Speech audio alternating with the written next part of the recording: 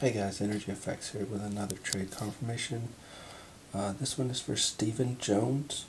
Uh, this guy ships out really, really quick. Uh, the trade was for Advent, uh, Hinterland, Harbor, Glacial Fortress, uh, Blood Baron, and a Johnny. Uh, he shipped out really, really quick. He's a great trader. You guys should check him out. I'll have his link in the description box below.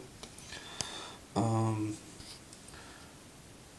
I have yours in the mail uh, tomorrow, man.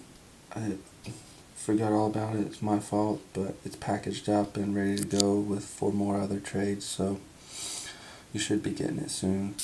So thanks a lot.